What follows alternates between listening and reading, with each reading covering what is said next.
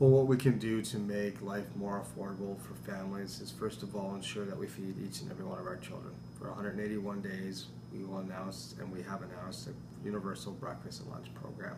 We pay attention to livable wages, making sure people can live above the poverty line, and that includes families.